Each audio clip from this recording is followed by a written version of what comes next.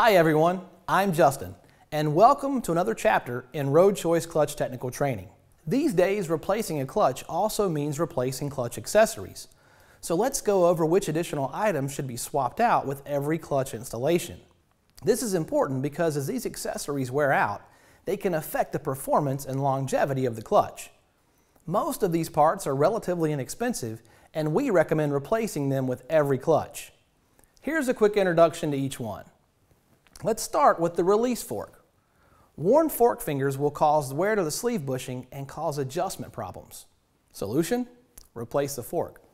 Constant wear on the cross shafts and linkage system can lead to a variety of problems, including adjustment issues, hard pedal, and premature sleeve bushing wear. Plan on replacing the cross shafts with every installation.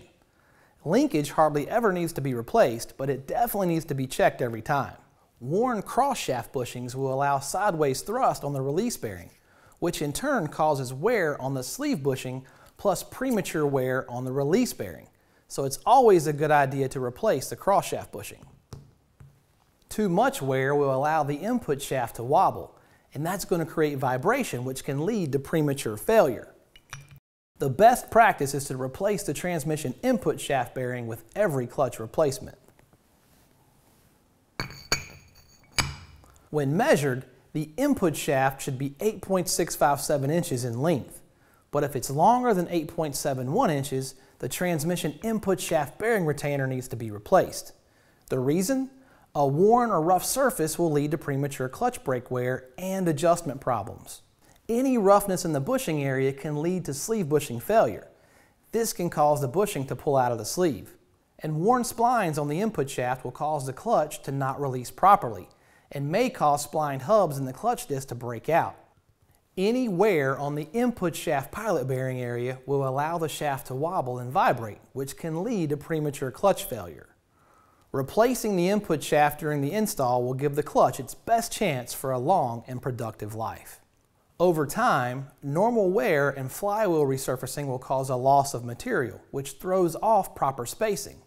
To add back thickness, use a fiber spacer. A clutch brake is used on non-synchronized transmissions to slow or stop the input shaft when the clutch pedal is depressed. It's designed to be engaged at engine idle when the truck is stopped. The clutch brake should be replaced at every clutch installation. The final accessory to tell you about is the pilot bearing. If the bearing seizes up, it will cause premature wear on the pilot bearing area. It'll also contribute to clutch brake failure and make gear changes very difficult. Again, the solution is to go ahead and replace the pilot bearing with each installation. For each of these components, the idea is to correct wear and tear issues before they create problems. So make these accessories part of every clutch replacement that you do. Well, that's it for this chapter. I hope you'll explore the other chapters in this clutch technical training series to make sure your clutch knowledge is up to date. You'll find all the parts information you need at roadchoice.com, and you can always contact us directly with questions about what you've learned here. This is Justin with Road Choice Truck Parts, and I'll see you next time.